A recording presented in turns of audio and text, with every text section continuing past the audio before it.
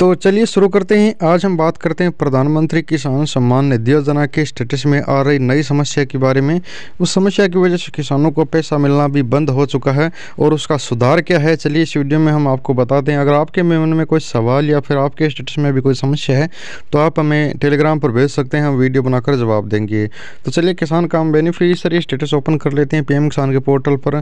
तो यहाँ पर आपको बेनिफिशरी स्टेटस वाली ऑप्शन में मोबाइल नंबर और रजिस्ट्रेशन नंबर डाल लेना है। गेट डाटा पर क्लिक कर लेना है। अब बेनिफिशरी स्टेटस हमने ओपन कर लिया है और माइंड पॉइंट ओपन कर लिया जिसमें किसान को समस्या आ रही है। सबसे बड़ी प्रॉब्लम यह है कि अभी तक इस किसान का पेमेंट मोड अकाउंट ही चल रहा है, आधार नहीं हुआ है। और इसके अकाउंट नंबर और आई एफ़ कोड दिखाए गए हैं। और उससे बड़ी प्रॉब्लम यह है कि इसका जो पीएम किसान योजना का पैसा है, वो जो अकाउंट बेस है, इतने दिन आना था, लेकिन वो अकाउंट बेस पर ही रिजेक्ट हो चुका है P F M S bank यानी P F M S bank ने किसान के जो अकाउंट नंबर और I F S C code है, उनको सही नहीं बताया है और रिजेक्ट कर दिया है। और रिजेक्ट क्योंकि इसका रीज़न भी दिया है P F M S bank rejection reason यहाँ पर आप देख सकते हैं I F S C code either not present to currently inactive in the T B L bank branch ये इन्होंने रीज़न दिया है। ये समस्या आपको भी आ सकती है तो वीडियो पूरा ज़रूर देखना वीडियो को लाइक और चैनल को सब्सक्राइब ज़रूर करना। तो यहाँ पर किसान भाई, यहाँ पर हम पी एफ़ एस का नया वाला पूरा स्टेटस चेक करते हैं, जिससे हमको पूरी जानकारी समझ में आ जाएगी। तो यहाँ पर जो इतना रीजन दिखाया गया है, ये रिजेक्ट कब हुआ था, कितने महीने पहले रिजेक्ट हुआ था, और हम पी एफ़ एस का जो पूरा स्टेटस चेक करते हैं, और इस किसान का पेमेंट मोड अभी अकाउंट है, चलिए हम पूरा स्टेटस इसका देख लेते हैं। तो मैं गूगल में जाकर सर्च कर लेता हूँ P F M S status Mahi info और सर्च करने के बाद इस तरह से वेबसाइट ओपन हो जाएगी। यहाँ पर लिखा हुआ है PM Kisan Yojana P F M S status check कैसे करें? तो इसी पर हम क्लिक कर लेते हैं। हमें यहाँ पर लिंक मिल जाएगा माही इन्फो की वेबसाइट में। तो हमें लिंक से स्टेटस ओपन कर लेना है। नीचे यहाँ पर लिंक दिया हुआ मिल जाएगा। इस तरह से स्टेटस ओपन होगा। तो यहाँ पर हम नीचे की तरफ़ जाएँगे तो यहाँ पर देख लीजिए लिंक दिया हुआ है। क्लिक कर कर लीजिए। तो स्टेटस हमने ओपन कर लिया। अब यहाँ पर आप देख लीजिएगा। इस किसान के जो पी एफ़ एस के दस्तावेज़ हैं, वो आठ दस दो हज़ार बाईस को तैयार हुए थे और आठ दस दो हज़ार बाईस को भेजे गए थे। अब रिजेक्ट हुए हैं। यहाँ पर आप डेट देख सकते हैं। रिजेक्ट होने की डेट है। यहाँ पर 9 दस 2022 यानी नवे, नौ तारीख और दसवें महीने में इनका रिजेक्ट हो गया था।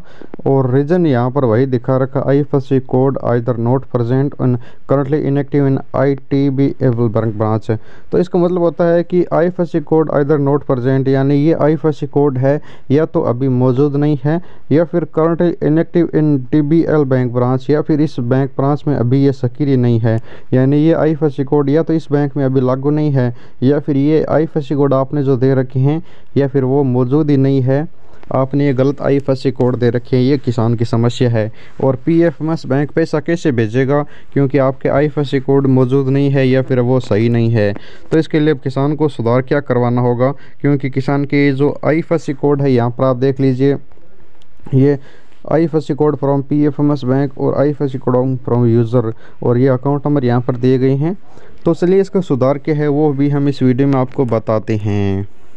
अब किसान को सुधार करवाने के लिए अगर ये किसान अब अकाउंट मोड पर ही सुधार कराता है आई कोड को सही चेंज करवाता है और ये जो अकाउंट नंबर दिए गए इसे चेंज करता है तो इसको ब्लॉक के चक्कर लगाने पड़ेंगे, तहसील के भी चक्कर लगाने पड़ सकते हैं तो सुधार होने में महीनों लग जाएँगे। लेकिन अब सरकार कुछ ही दिनों में सभी किसानों का पेमेंट मोड अकाउंट से बदल कर आधार कर रही है। तो इस किसान को इंतज़ार करना है कि इसका पेमेंट मोड अकाउंट से आधार हो। उस समय इसके बैंक खाते में पहले से इसको अपने आधार एन पे से लिंक करके रखना है। ब्रांच में जाकर भी लिंक कर सकता है। तो जैसे ही आधार एन पैसा लिंक करके रखेगा, अपने बैंक खाते में आधार शेडिंग करके रखेगा तो सरकार जैसे ही पेमेंट मोड जो अभी अकाउंट दिखा रहा है, वो अब सभी का धीरे धीरे आधार किया जा रहा है। तो इसका भी आधार होगा, उस समय ऑटोमेटिक इसका पैसा जो रुका हुआ है, वो इसको मिल जाएगा और जो P F M S bank अभी रिजेक्ट कर रहा है, वो एक्सेप्ट हो जाएगा। अन्यथा ये अकाउंट बेस पर सुधार करवाएगा तो ये अकाउंट नंबर और I F S C code सुधार करवाने के लिए चक्कर लगाता रहेगा और ऑनलाइन सुधार होगा नहीं। तो इस किसान को अपने बैंक खाते के अंदर आधार लिंक करके रखना है और जैसे ही पेमेंट मोड चेंज होता है, उस समय इसका ऑटोमेटिक सुधार हो जाएगा। यही हमारा सुझाव है, बाकी किसान अपने स्तर पर देख सकता है। उम्मीद करता हूँ जानकारी ज़रूर अच्छी लगी होगी। वीडियो को लाइक और चैनल को सब्सक्राइब करना। धन्यवाद।